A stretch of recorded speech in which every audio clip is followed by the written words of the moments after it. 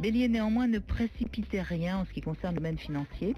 Taureau, laissez-vous porter par vos émotions qui aujourd'hui devraient être plutôt bonnes conseillères. Gémeaux, prenez le temps de mieux préciser votre stratégie. Cancer, maintenez votre cap, vous êtes dans la bonne direction.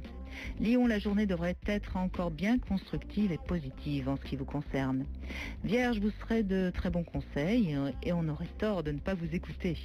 Balance, vous manquez franchement de souplesse en ce moment.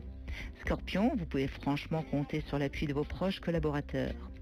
Sagittaire, réglez d'abord et avant tout les petits détails du quotidien. Capricorne, vous êtes trop rigide, laissez un peu plus de place à vos émotions, cela vous rendra plus performant. Verseau, prenez un peu de recul au lieu de vous agiter dans tous les sens. Poisson, votre sensibilité n'est pas forcément une bonne conseillère aujourd'hui. Et on souhaite une bonne fête à toutes les Thérèses.